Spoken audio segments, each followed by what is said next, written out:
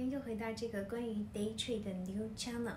啊、这个以后这个视频呢，我想控制在十分钟以内。昨天有朋友说我说这个太长了，不能二十分钟的。昨天因为这个股市大跌嘛，所以讲的可能就比较多。呃，关于很关心我这个长期账户的这个朋友们，昨天一开市的时候呢，大概是 negative 八万六千左右，但是最后的时候应该是 negative 一万。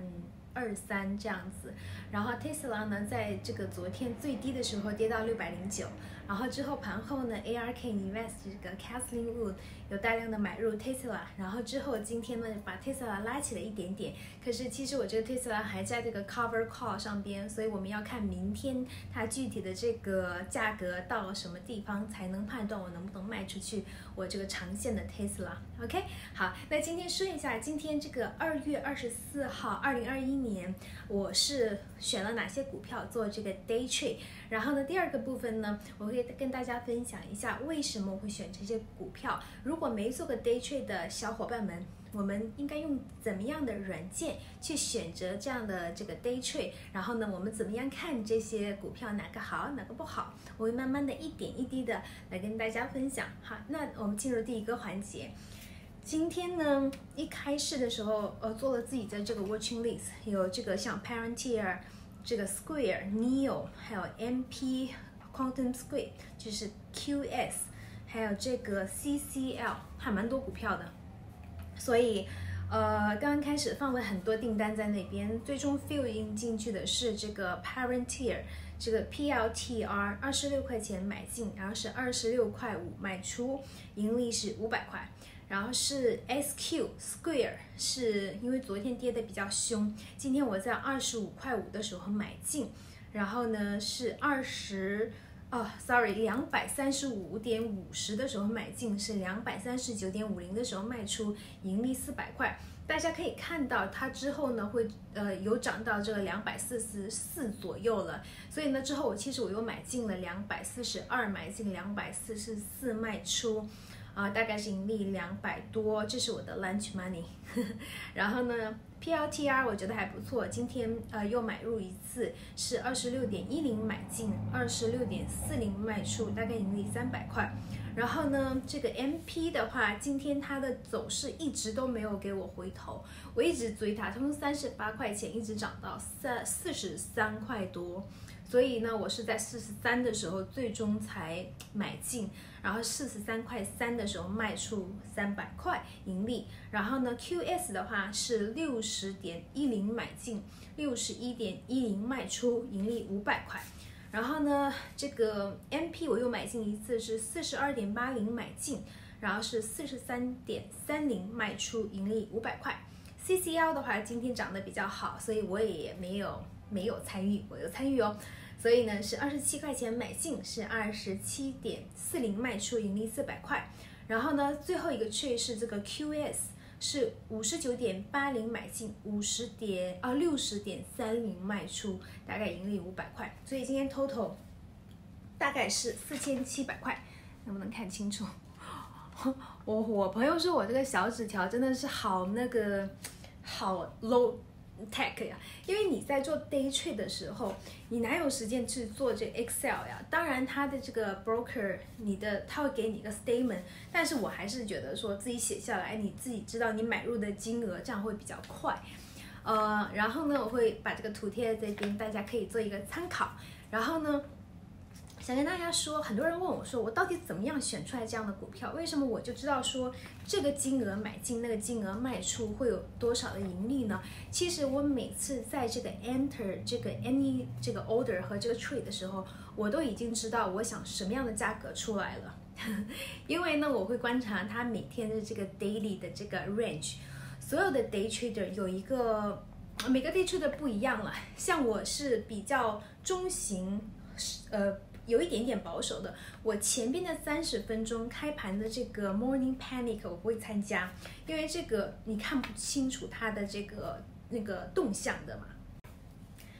大概是呃洛杉矶时间七点钟之后，也就是说六点半开始，七点钟半个钟头，你给他让他们 panic 一下，跪一下，你就会看得出来大概今天的走向是怎么样的。所以呢，七点钟之后呢，我就开开始 enter 很多这种 trade，我在等我心仪的股票会不会回头给我一个买入的机会。如果是说它一直是在一个区间活动的话，我就会狠心下手。然后呢，呃，在 enter 每个 trade 之前的话，都给自己设定一个我准备在这个 trade 上边赔多少钱，然后呢，准备赚多少钱。所以这样子的话，你就知道你自己的 risk 在哪里，自己的 profit 在哪里，所以你自己也有一个非常好的掌控。这是我每天都要做的一个事情。所以呢，今天呢，觉得还不错，没有任何一个 losing trade，所有的 trade 都是按照我自己心仪觉得比较